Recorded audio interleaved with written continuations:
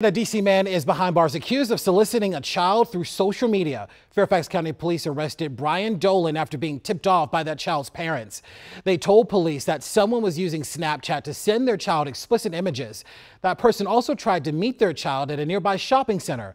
Investigators were able to trace those Snapchat messages back to Dolan and took him into custody. He's being held without bond, but police are concerned that there may be more victims, and they're asking anyone with additional information to give them a call. That number is at the bottom of your screen.